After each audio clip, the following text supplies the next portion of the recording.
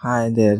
Had this ever happened with you while working on a robotics project? You had to convert your CAD model into URDF and you found it to be very difficult and complicated. You are not able to know the correct joint positions, mass, inertia, and you are not able to calculate the mathematics involved and you found it to be very difficult and you got confused and you left it. So here is a solution for you. Free plugin available for fusion 360 cad models to convert it into an urdf and it's open source available in git. If the plugin is open source then what's the benefit of this course? So in this course i'm going to teach you the right way to convert your fusion 360 model into an urdf as well as we are going to discuss discuss about the possible errors that you may face and their solution and how to tackle the things in depth. And in the optional part of this course, we are going to talk about how to use your exported URDF model in ROS and we'll learn how to color your model and see the possible error solution as well as